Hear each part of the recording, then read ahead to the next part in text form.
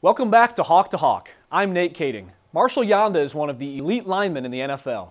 Many of the NFL stars were heavily recruited by major colleges out of high school, but Marshal took a less traditional path to stardom.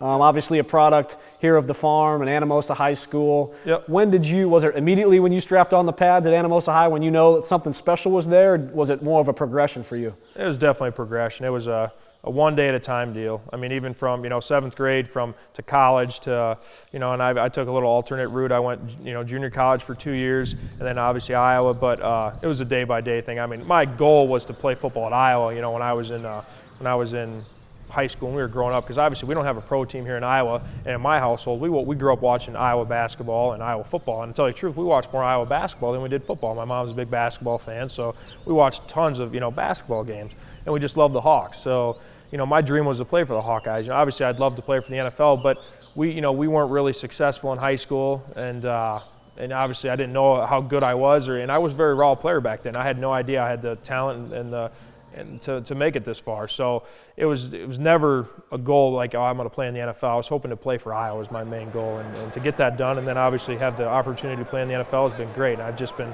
like I said, it's been a one day at a time deal since high school, and it's just work hard, you know, one day at a time, go to bed and get up and do it again and see where the chips lay. And it, it's, uh, you know, we've been fortunate. I've been fortunate to stay healthy enough. I've been injured and, uh, and gone through some stuff, but healthy enough to, to you know, have a, a, good, successful career and make a lot of great memories and just enjoy it. Sure. Yep. At the, those two years you spent at NIACC in junior college, looking back on it, were there some valuable lessons you learned there? Uh, yeah. Something that you take away? Do you view it as a sort of a fork in the road where it was a little bit of adversity, or is it something just the natural I think process? I think it was my growing up stage. I mean, obviously, I uh, you know I had a lot of fun in high school, and uh, and you know I kind of you know maybe did a little bit of that too much and, and, uh, and took for granted, you know, the school and uh, the aspect of going to class and this and that. But obviously when I went to Nyack, I knew that this was my last shot. You know, if I really wanted to play for Iowa, I had to buckle down and there was, I'm going for it, you know. And our, our junior college coach said, you know, you got to graduate in a year and a half at junior college if you want to be, you know, considered to get offered from uh, Division One school. So, you know, my first, uh, my first summer, you know, was your first college summer and uh, you know I had you know 17 credit hours staring me down in the face, or otherwise go home like everybody else did. There was five of us that stayed out of 125 kids on the football team and took summer classes. You know, so there was five of us out of 120, and I'm staring down 17 credit hours, and I'm like, I'm doing this because I'm, I've, you know, if I if I don't do it, I'm not going to make it. You know, and I just might as well go 110% for it and see what happens. You know, and obviously I did that, and uh, and it worked out great. Obviously, they needed linemen, and uh, and Coach Ferentz took a shot on me as a junior college, and uh, you know it's been it's been great. Were Coach Ferentz and Coach Morgan, your offensive line coach while you were at Iowa, were they in communication with you your entire time at Nyack, or did they come in near the end? How did that work? Um, pretty much at the end. Uh, they knew of me a little bit. Coach Morgan a little bit in high school, but obviously he looked at my grades. I didn't have the grades in high school, so there's a lot of recruits in uh, in high school, and obviously he's seen my grades and just like, I'll move on to the next guy. I, I, completely understand. That's just the way it goes.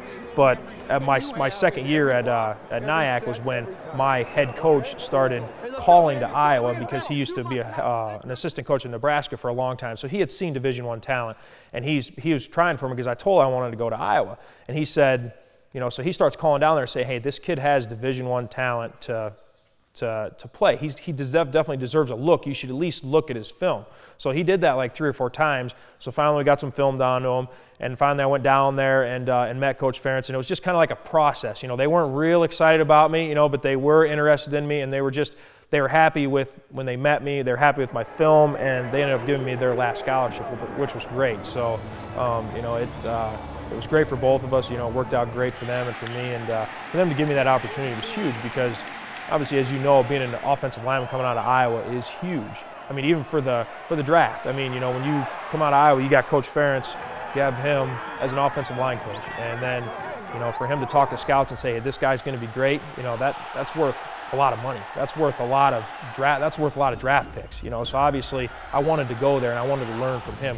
Next on Hawk to Hawk, Marshal discusses the lessons he learned from playing the offensive line under the tutelage of Kirk Ferentz and then offensive line coach Reese Morgan. That and much more still to come.